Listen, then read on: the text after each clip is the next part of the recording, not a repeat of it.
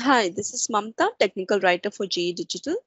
I'm going to walk you through CIMPLICITY 2022 server installation. There are a couple of changes in the installer screens for this release.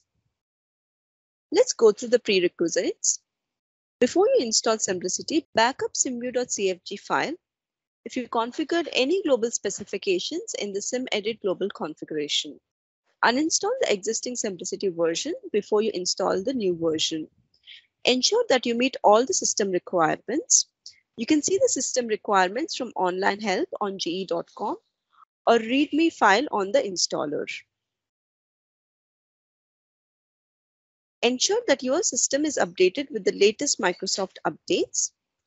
Log on to your computer as an administrator. Confirm you aren't logged in via an RDP or terminal server session. Ensure there are no other GE products running. Click Frontend exe file. On the main install screen, click the Install CIMPLICITY Server link. Click Next.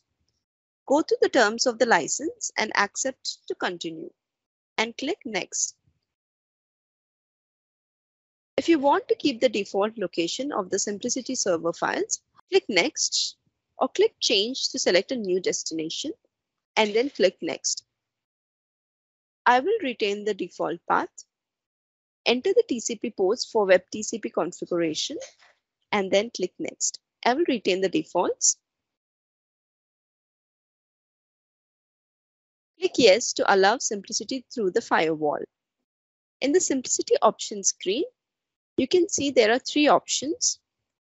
If you select Online Help, the product is integrated with the help that is available online on ge.com.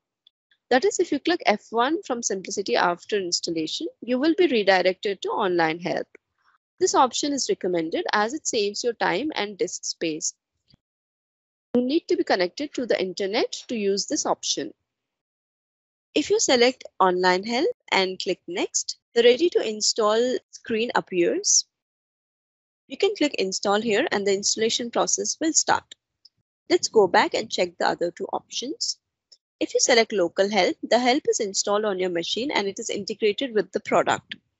That is, if you click F1 from CIMPLICITY after installation, it will open the local help that will be installed on your machine.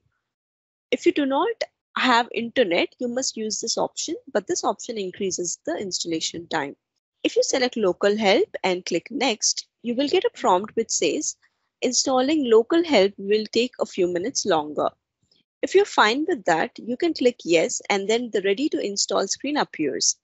Note that you cannot use this option on a viewer machine. You must use either online help or remote help option. If you select remote help, the product is integrated with the help that is available on other CIMPLICITY server. You need intranet connectivity for this option.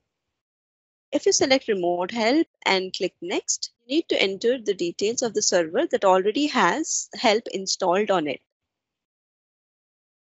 If you have selected this option, when you click F1 from CIMPLICITY, it will open the help that is installed on the server that you mentioned here. I will select the default option that is online help and click next. Click install Several screens will appear during the installation process and then the base CIMPLICITY product will start to install. Near the end of the install, a few message boxes will appear. This one reminds you to install or upgrade your historian product later if you use it to store your historical data. Click OK. Another message appears reminding you that CIMPLICITY only works in demo mode for two hours unless you enter your license info. Click OK. You need to restart your system to apply the changes. Once that is done, CIMPLICITY Server is ready to perform. And if you click F1, you can see it is redirected to online help because I selected that option during the installation. Note that if you want to change a help option after installation or if you want to change the remote server details, you can do that from CIMPLICITY Options dialog. This concludes our install walkthrough. Thank you for watching. For more information, you can visit our website ge.com digital.